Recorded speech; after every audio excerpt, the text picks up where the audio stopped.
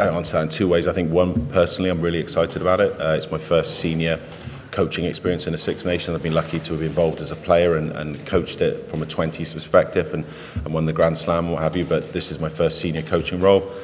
And obviously, you know, just around today, you can see how big it is, you know, particularly from the female side of it. So that's a really exciting challenge for me.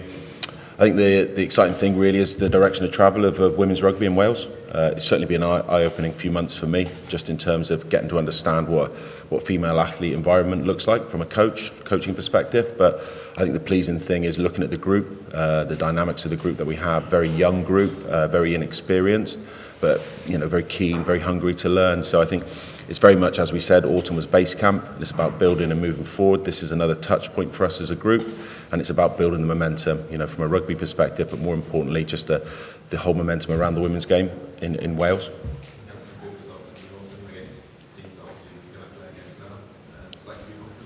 Yeah, it definitely gives the group confidence. Um, you know, our mantra has been very much about closing the performance gap. You know, we, we look at the other teams in, the, in this tournament, you know, and there's some excellent teams. I think, you know, I'm I'm, I'm into it quite new uh, with fresh eyes. So looking looking at the groups and the teams we're playing in, I think everyone is is really putting a lot of resources into their, their game at the moment. So for us, over the autumn, there was certainly improvements in performance.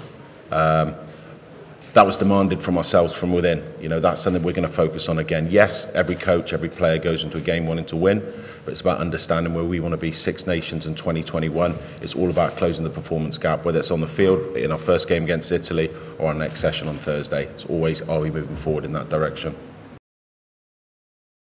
It's been real, a real privilege for me as a coach. and myself and Geraint Lewis have, have been in the performance department, coached across the 18s, 19s, and 20s, and, and obviously Gagsy, who's, who's part of it as well. You know, we very much work as a coaching team.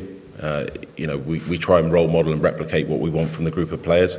You know, so that, that's what we're looking to do, and it's, it's, it's been really exciting. You know, as a coach, it's been a really, really eye-opening experience. You know, working with these group of players who are probably some of the most professional, committed players I've worked with. You know, really challenging um, in terms of actually demanding off you as a coach, which sharpens you up as a coach, which has been really good. So, you know, I've got lucky to have a really good working relationship with the with the other two coaches. So, you know, we work work as a team. Um, you know, we bring our own strengths and our own weaknesses as, as a three, if that makes sense. So, that, you know, that's what we want. I always say to the players that the team is the star, and, and, and that's the mantra as, as a coaching group that we work to as well.